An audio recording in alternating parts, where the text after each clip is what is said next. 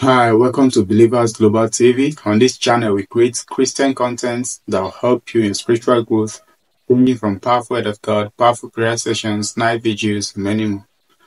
First, the Bible says that faith cometh by hearing, and hearing by the word of God. So it is what you hear that builds you up. It is what you hear that you engage that truly profit you. So I encourage you as about to listen to this word of God, please open up your heart because God is about to visit you. God is about to transform your life. God is about to turn your life around.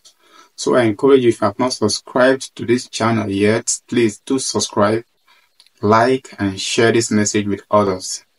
If I am sent to you, my words won't fall to the ground. Now, hear me. Everything dying in your life in the next three days, I command it to come back to life.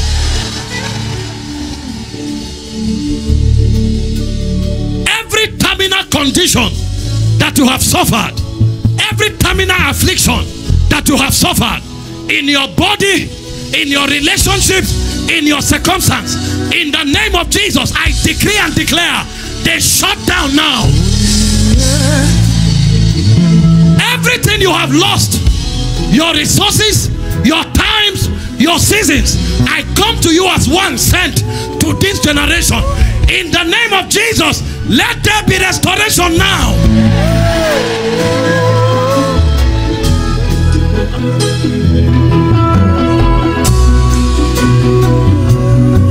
Every reproach that you have carried until now, be it a cost, be it a spiritual manipulation, I speak over your destiny now. Let that reproach be broken in the name of Jesus. Every bondage you have carried, every limitation you have carried, every stagnation you have suffered, I bring you a prophetic push in the name of Jesus. Go forward and prosper now.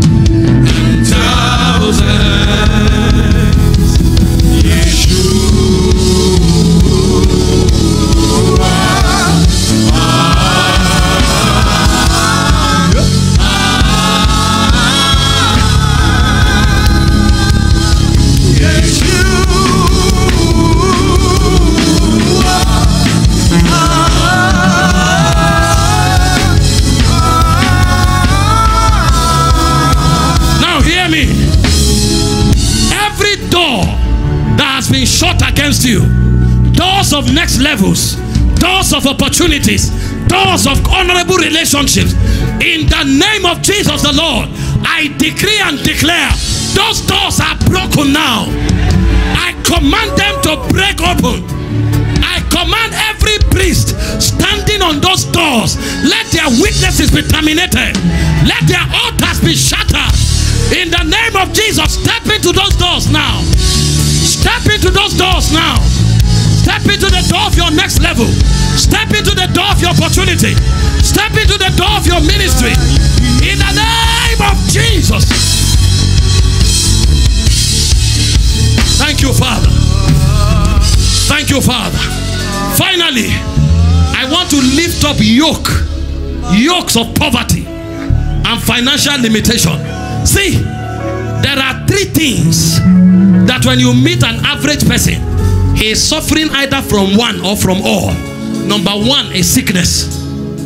You meet 10 people, eight are sick. Number one is sickness. Number two is poverty. The systems of this world are designed to keep men poor. And for you to rise up above the poverty line, number one, you must have a value. If you don't produce any value, you can't break the threshold of poverty. Number two, you must have a gift. If you don't have any gift or any talent, you can't break the threshold of poverty. Number three, you must have an inheritance.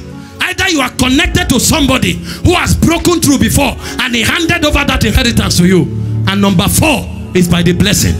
He said, The Lord bless them. And he said, Be fruitful, multiply, replenish, subdue, have dominion. And trust me, there are many people who don't even know the gift they carry. There are many people who don't really have values. So the first point to stir wealth out of people is by releasing blessing. He said, The blessings of the Lord make it rich. It added no sorrow to it. Now, in the name of Jesus, I release the blessings that make rich. Let it rest upon you now. Receive the power to get wealth. Receive the power to get wealth. Even this week, some of you will break into realms of wealth that you have not bargained for. In the name of Jesus, let that grace rest upon you now. Lift your hands and honor the Lord. Yokes of poverty have been broken. Causes, stagnations, limitations. They have been broken. Yes, you are.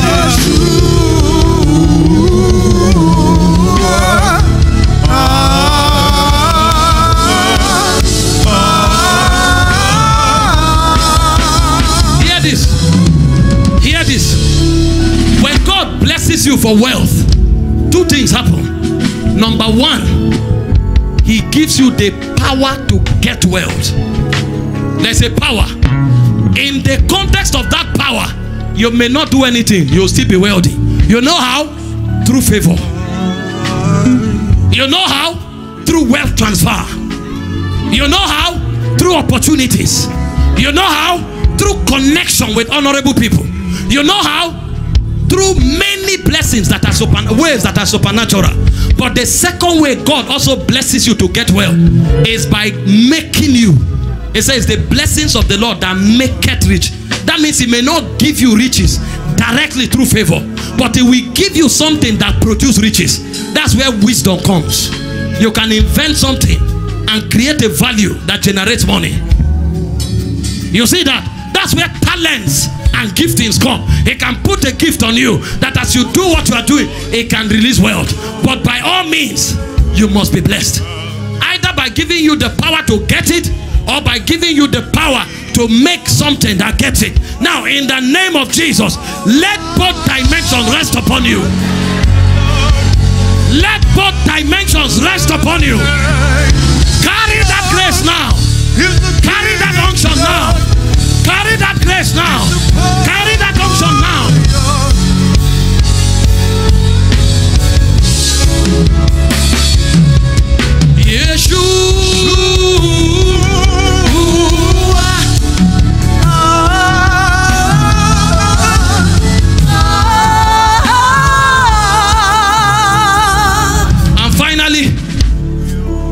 Anybody who came here with a yoke of sickness,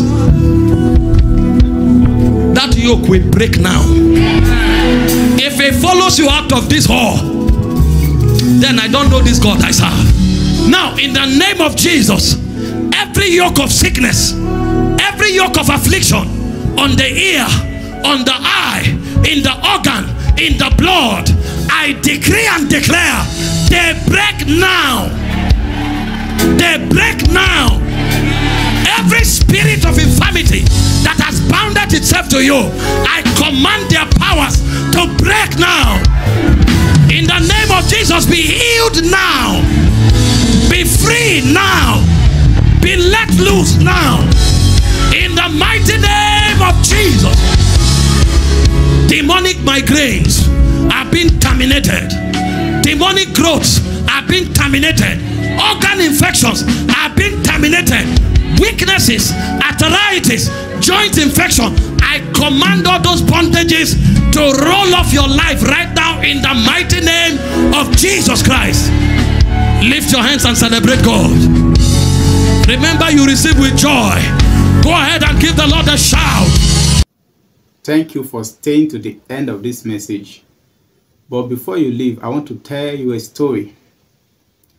There was a father who has two sons, and so he sent two of his sons to the farm, like to go and harvest yam. So he called them both and sent them. The elderly one says he is going to go, that he is going to like go on the errands, but the younger one says he's not going to go. And so they left the presence of the man. And behold, the one that says he will go to the farm does not actually went. But the one who says he was not going to go, at a point he thought within himself and said, My father has been very responsible for me, so I will go. So he changed his mind and went. So I want to ask, among these two sons, who actually does the will of the Father? It is the younger one. So as you have listened to this me message, it's not about listening alone. If you listen and probably you feel stirred up, but later on the zeal, the passion that you had when you were listening to this message dies and you do not apply this message, it means the time that you dedicated listening to, to this message was a waste. So it is not about what you hear alone. It's not about the messages that you listen to alone. It is more of what you take out of th those messages and then apply to your daily lives to make you um, better. So I do hope and I pray that this message will transform your life will turn your life around.